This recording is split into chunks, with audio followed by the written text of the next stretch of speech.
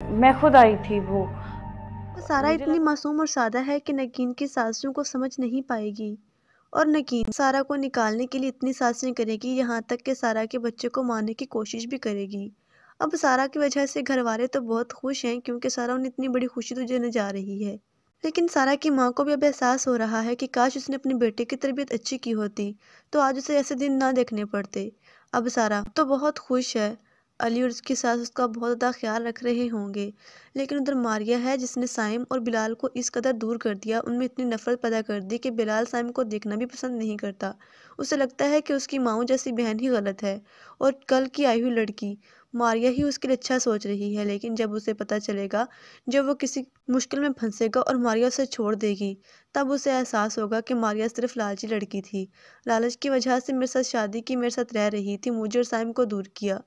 तब मारिया के साथ तो बहुत बुरा होगा, क्योंकि बिलाल कभी मारिया को अपने घर में नहीं रखेगा और डिवोर्स दे देगा।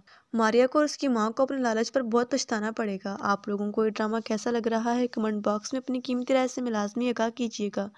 मज़ीद वीडियोज़ के लिए चैनल को सब्सक्राइब करें और साथ में मुझे बेलाइकन को दबा दें।